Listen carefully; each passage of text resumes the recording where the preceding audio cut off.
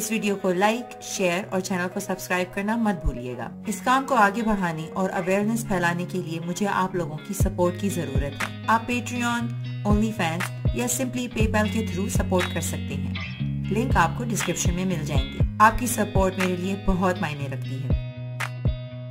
Tab आए हैं जी tab hello how are you I am fine आ रही है मेरी आवाज़ महिलित जी?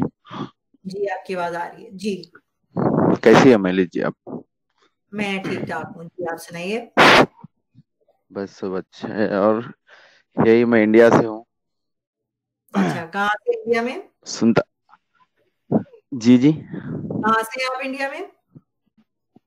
इंडिया में तेलंगाना से हूँ मैं हैदराबाद। अच्छा अच्छा अच्छा। जी क्या कहना चाहेंगे आप? जी जी। मैं आपको सुनते रहता हूँ और हारिस भाई गालिब भाई सबको तकरीबन सुनता हूँ। और लास्ट टाइम बात भी हुई थी हारिस भाई से इसी सिलसिले में। और महिला जी मैं बताना चाह रहा हूँ कि मैं एक हाफिज कुरान हूँ। अच्छा। जी। जी जी। तो और लास्ट टाइम बात जी जी। छोड़ दिया आपने इस्लाम। नहीं नहीं आई लेफ़्ट इस्लाम सम टाइम्स अगो अच्छा। जी जी। तो मैं आपसे एक, एक चीज़ पूछना चाह रहा हूँ था कि फेमिनिज्म जो है फेमिनिस्ट जो लोग होते हैं। जी हेलो मेरी आवाज़ आ रही है? आप हाँ हाँ जी बोले बोले। तो जब एक पर्टिकुलर जो जेंडर था जो बैकवर्ड था जैसे कि विमेंस हो गई जो भी हुए जो बैकवर्ड जब बैकवर्ड थे मतलब लोग उन्हें कम कमतर समझते थे अपने आप को। अगर जब कोई फेमिनिस्ट होता था कोई फेमिनिज्म नाम का कोई चीज़ है तो बात ली जा सकती थी लेकिन आज जेंडर इक्वालिटी की जहाँ बात होती है वहाँ पे आप फेमिनिज्म को किस तरीके से देखती है? आई थिंक एक औरत होने के नाते अब जेंडर इक्वालिटी की बात आती है और मैं सबसे पहले तो ये कह दूँ कि मैं हर किसी बिलीव ये करती हूँ कि हर किसी को ह्यूमन एक इंसान होने के नाते हर किसी को इक्वल राइट चाहिए। जी जी। मगर सेम टाइम अब बहुत टची सिचुएशन आ गई है क्योंकि जब अब हम आ जाते हैं ट्रांस वुमेन पे आ गए हैं या ट्रांस मैन मैन पे तो इतनी प्रॉब्लम नहीं आती है मगर जहाँ ट्रांस वुमेन का इश्यू आ जाता है वहाँ पर ये लोग कुछ ज़्यादा ही आ गए हमने कभी ये नहीं कहा कि अगर मेरे सामने कोई आ जाता है कहता है मैं ट्रांस वुमेन हूँ और यू you नो know, लगता भी वैसे लगती भी वैसे है मुझे ये बोलो तो आई विल से इट मगर अब आप जो आपकी पॉपुलेशन की जो औरतें हैं उनको आपने पीछे कर दिया है और उनसे कहा कि नहीं आप वुमेन नहीं यूज़ करोगी। आपको हम पीपल हु लैक्टेट वो बोलेंगे। तो ऑब्वियसली वो फिर हमारे राइट्स के ऊपर आ रहा है आपके अब हमारे औरतों के राइट्स कहाँ पे तो it is a very sticky situation किस तरह करना आई थिंक सबको एक बैलेंस्ड उसमें आपको लेके चलना पड़ेगा।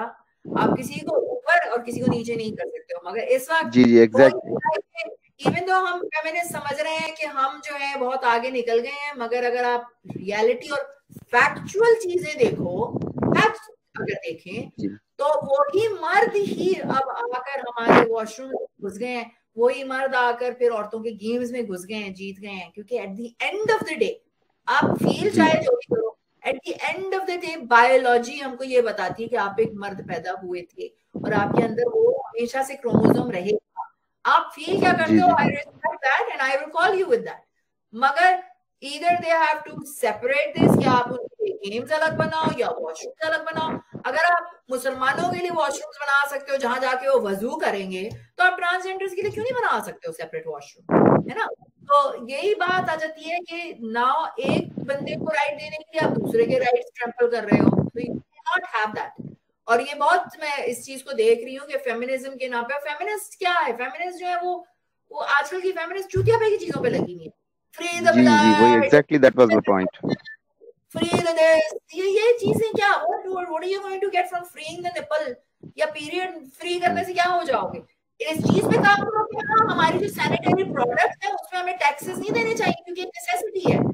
चीज़ों पे बात कर रहे हैं लोग इसको देखिए आप कहाँ तक जाता है मैं कह रही हूँ ना कि जब लोग कुछ ज़्यादा ही आउट ऑफ़ देयर चले जाते हैं ना लेफ़्ट जो है कुछ ज़्यादा ही आउट देयर चला गया है तो जो पहले लिबरल भी लोग थे ना थोड़ा सा सेंटर में मूव हो गए। ये कहते हैं भाई ये लोग तो वाकई में चूतिया की तरफ़ जा रहे हैं।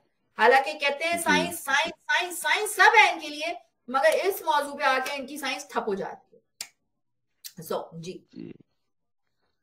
जैसे कि अभी जैसे people people who living in Europe America like advance countries तो जब उनके पास जेंडर इक्वालिटी है मतलब लोग सब बराबर का हो दे रहे या मेन हो विमेन हो ट्रांस हो लेस्बियन जो भी है, इसके बावजूद ये बात क्यों मतलब वहाँ के लोग कुछ ऐसे है जो हम फेमिनिस्ट है, जैसा कि इंडिया जैसा बैकवर्ड है इंडिया में जैसे कि जेंडर को लेके लोग यहाँ पे पॉजिटिव है अगर ऐसे कंट्री में अगर कुछ हो रहा है तो फिर भी ठीक है चलो भाई मैं फेमिनिस्ट हूँ मतलब मैं औरतों को कुछ ज़्यादा हो देता हूँ क्योंकि ये मेल डोमिनेटेड सोसाइटी है ऐसे करके लेकिन अगर कोई एडवांस कंट्री में ऐसा हो, होता, होता है कि अपने आप को कोई फेमिनिस्ट बोलता है या फिर कोई लेडी अब हक जताना चाहती है कि मैं हम फेमिनिस्ट है हम मतलब हम फीमेल है तो हम फ़र्स्ट है ऐसा अगर कोई कुछ चीज़ें हो रही तो आपको नहीं लगता है गलत है?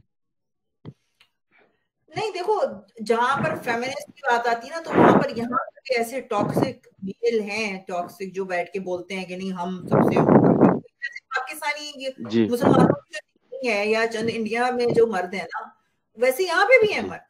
तो I understand I always say हाँ आई एम अ फेमिनिस्ट मगर मैं उन फेमिनिस्ट के ऊपर नहीं हूँ जो मर्दों से नफरत करती है। मैं मर्दों से नफरत नहीं करती हूँ।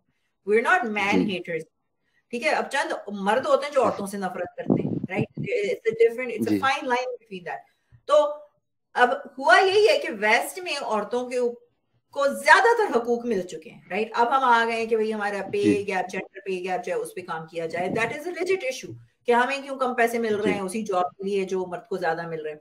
मगर उसके अलावा हमारे पास कोई इतने बड़े इश्यूज़ नहीं है राइट औरतों पे यहाँ भी जुर्म हो रहा है। मगर we have more right other countries तो अब क्या है कि कह रही ना फालतू की चीज़ों पे लग गए free the period free the nipple free this free that तो we should be focus on that हमको उन्हीं चीज़ों पे फोकस करना चाहिए जिन पे हम पहले फोकस कर रहे थे कि अब हमारे जो वॉशरूम्स हैं, वो स्पेसेस जो हमने पहले अलग करवाई थी, अब वो हमारी छोटी छोटी बच्चियाँ लॉकर रूम में वहाँ पर कोई भी कहे कि कि मैं जो वुमेन हूँ, आ सकता है। कनाडा के लॉ के मुताबिक आपको ट्रांसफॉर्म करने की भी ज़रूरत नहीं है। ड्रेस पहनो आप घुस जाओ लड़कियों के वॉशरूम में। वहाँ जाके वीडियोस बना लो कुछ भी कर लो।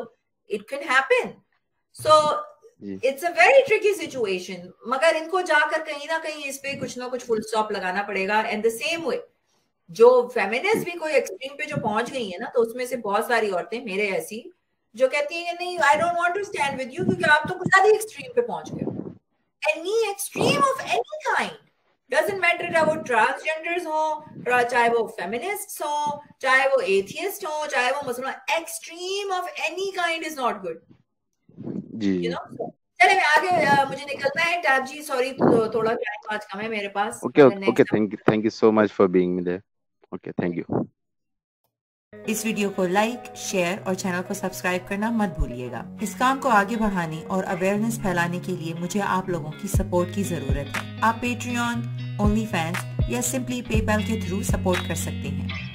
लिंक आपको डिस्क्रिप्शन में मिल जाएँगे। आपकी सपोर्ट मेरे लिए बहुत मायने रखती है।